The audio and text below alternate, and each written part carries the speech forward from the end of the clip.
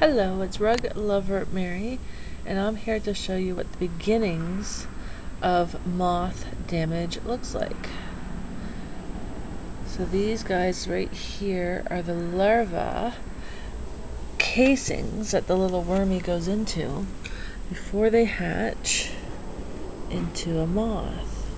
And they usually turn the color of the rug because this is what they've eaten and the moth damage starts out very subtly. You can see that these grooves are deeper and they've started to eat in those grooves. And that is how subtle the beginnings of moth damage is. And these white lines are not moth damage, they are the foundation fibers popping through. But this area is moth damage. It's very tiny and very easy to miss until they've eaten on your rug for several weeks or months, and then you are missing fibers. So, as you can see, these guys are not very big, like a quarter of an inch, and sometimes they're even smaller than that.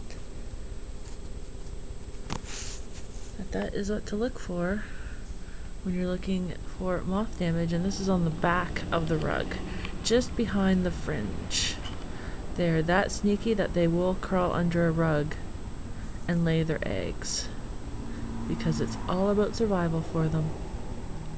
So when you're doing vacuuming about once a month check about four to six inches under all four sides of the rug for subtle signs like these grooves or these white fibers showing, or these little guys that look like flattened pieces of rice.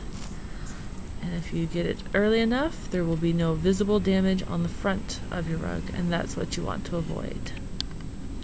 This has been Rug Lover Mary. Thank you.